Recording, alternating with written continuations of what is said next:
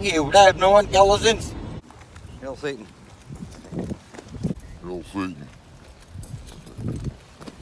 January 3rd, 2021. Installment number 3 of YouTube's Darkest Channels is released.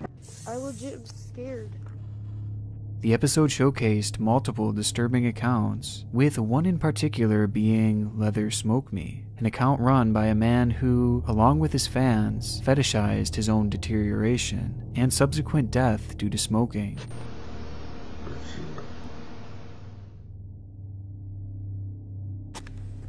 Before this video aired, I would briefly explore the entirety of this smoking fetish community, discovering a countless number of these channels participating in it, with one of which being run by a 19 year old high school student named Dylan Pontney, by far the youngest person I had ever seen taking part in this. I would only watch one of his videos in passing, using that along with many others as evidence that this trend did in fact exist.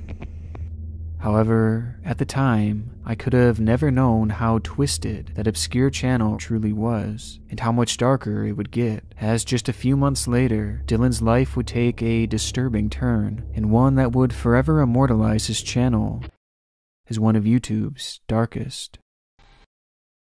Before we get too far into this, I want to thank today's sponsor, Raycon. Raycon is truly disrupting the electronics industry by making great sound affordable for everyone, as their wireless earbuds start at just half the price of other premium audio brands. Co founded by Ray J, it's no wonder celebrities like Snoop Dogg and Mike Tyson are using these earbuds, as they come in a wide variety of fun colors and patterns, with multiple fit options for everyone, all without the dangling wires or stems, and they have the performance to match their look. With 6 hours of playtime, seamless Bluetooth pairing, more bass, and a compact, comfortable fit. Recently, I've been wearing mine while walking my new puppy Kuma.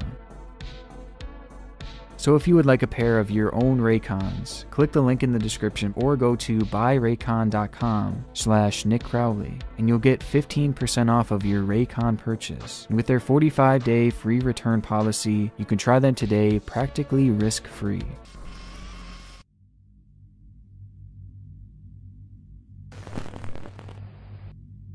Addicted to Dying Slower.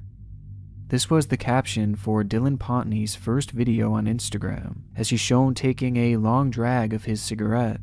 And looking back, it was this account that provides the context needed to understand Dylan, as well as his YouTube channels, as videos like this were the basis of his content, and those watching absolutely loved it. Commenters would say things like, Looking good, man. You're so sexy, addicted lung. Your face is cute. And very hot smoker. Smoker fetish? He would never respond to that final question, though the answer wasn't hard to find.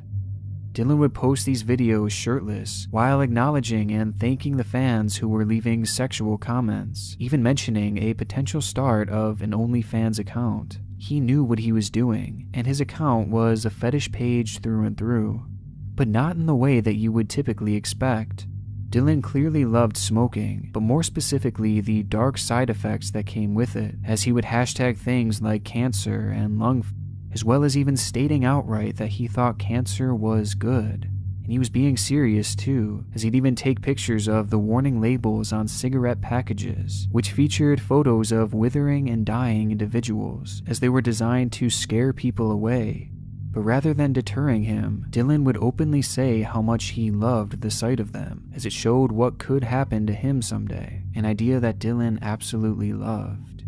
Dylan Pontney wanted to get cancer and die before his audience's eyes, much like Leather Smoke Me had done years before, along with many others across the web, with his Instagram providing all the context we need, context that would make his YouTube channels all the more concerning. Dylan had three channels, one of which going under the same name as his Instagram, along with another called Jericho Chris, the same account that I had found way back when researching in December. And both accounts consisted mainly of his smoking videos. And quickly, Dylan would start to amass a few hundred views per video, as viewers were watching eagerly to see the young man begin to wither. It's a concept that's dark enough, especially considering his age. But as mentioned, Dylan had three total channels, with his third proving to be the darkest. The channel would go by the name of Juniper Crossing, and again feature more smoking clips. Only, unlike his other pages, these clips didn't make up the majority of his content. In fact, the channel itself was dedicated to a whole other rabbit hole here on YouTube. And it's one that we've been down before. See what I'm talking about? That is true power and true free will. Basically, we're all trapped on an iron grid. Um, our cells are literally keeping us trapped on planet Earth. Um, you need to get to the center of the flat Earth before you're dead, um, or you will expire of your own stupidity. Blood Over Intent, Proof of Life, Quasi Luminous. This was the title of Dylan's second upload to the Juniper Crossing channel that would go live back in December of 2021, clearly in reference to what has now become one of the largest and most intriguing rabbit holes on all of YouTube. We explored the mystery way back in the day, the Cult of Saturn. It's a group that believes an apocalyptic event is imminent, and the only way to survive is to put your name in Satan's Book of Life a book reserved for the first 144,000 people who partake in a ritual known as blood over intent. For the ritual, you write your intentions down on a sheet of paper and then spill your blood over it, which supposedly manifests your intentions, as well as puts your name in the book of life, essentially securing your salvation. But in order for it to fully work, you must record the ritual and post it here on YouTube.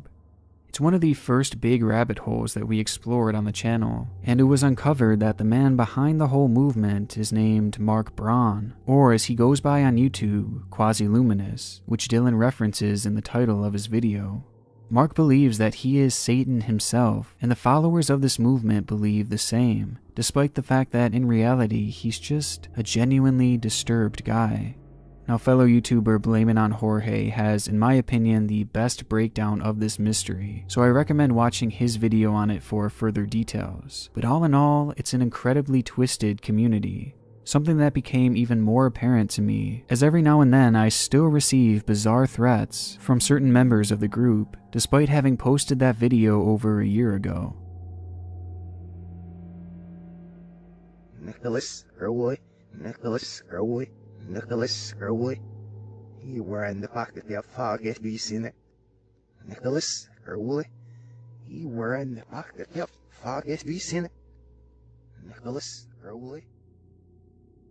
But out of all the videos that I've seen associated with this group, Dylan's truly stand out.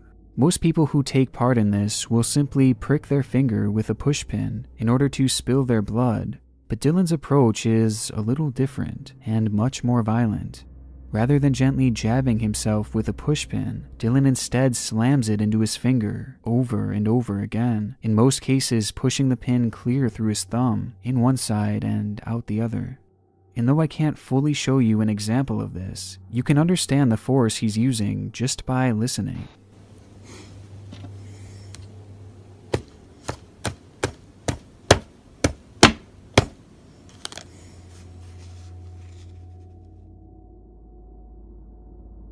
There's a real darkness to this Juniper Crossing channel, as it's essentially the combination of two YouTube mysteries we've covered in the past, both of which being incredibly concerning in their own right. I mean, this is a channel run by a kid who wants to get cancer and die, while at the same time immersing himself into one of YouTube's darkest cults.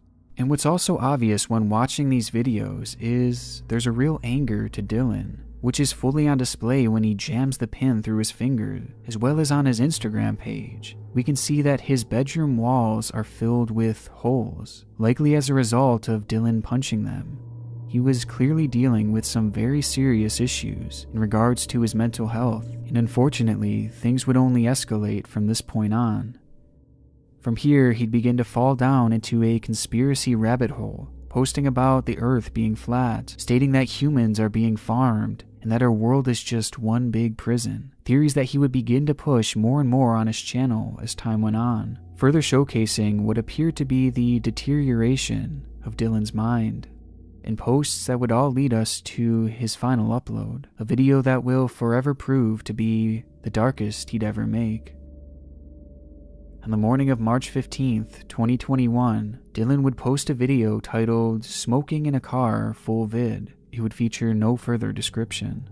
The clip shows as Dylan jokes around with his father on their way to Dylan's school as he enjoys his early morning cigarette, which, in his words, was the best way to start the day.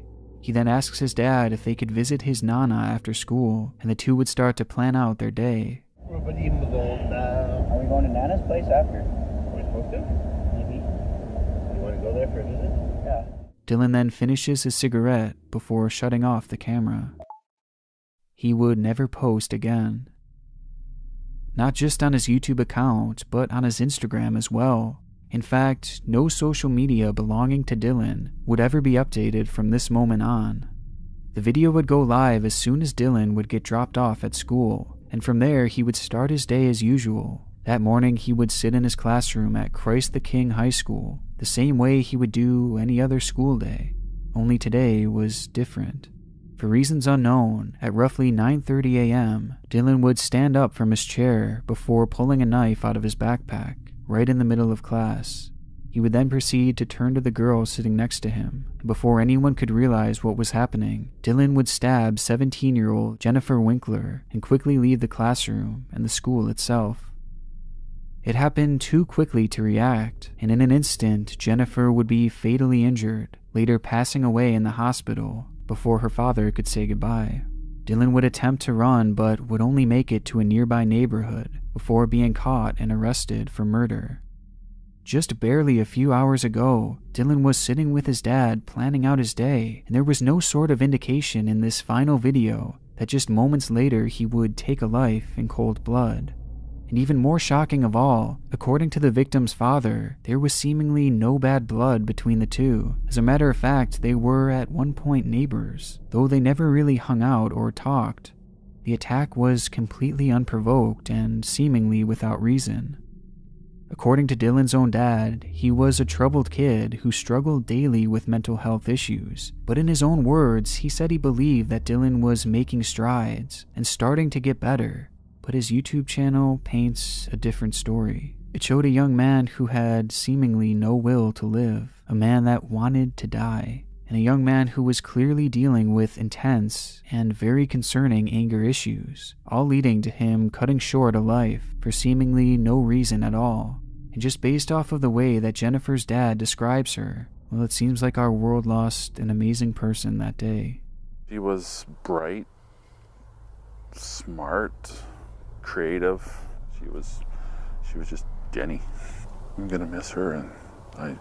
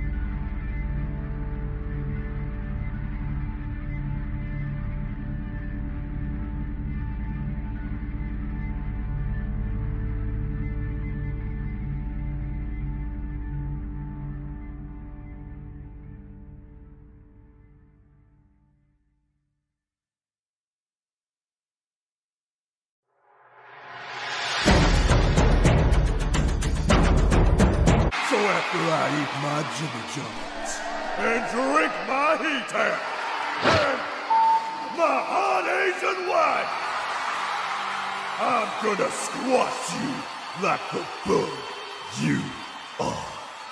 Mr. Satan, everybody! The angel of death is gonna find you, motherfucker. Hurrah for them. We shall fix it, believe. Go offer them. We shall fix that. Believe. Care if you're CIA, intelligence, whoever it is. You have no intelligence. You're so silly, retarded. The first Fisher King was a man called Bron.